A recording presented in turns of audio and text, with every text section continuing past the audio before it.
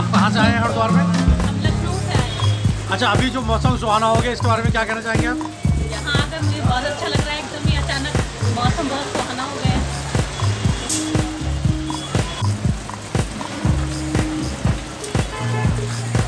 अभी अभी हरिद्वार में बारिश हुई है मौसम सुहाना हो गया।